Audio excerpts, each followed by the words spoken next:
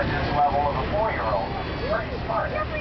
Considering they say a dog has the intelligence of a two-year-old and a dolphin that of a five-year-old. They're pretty smart animals. Yeah, he just moves all over the place. And they don't use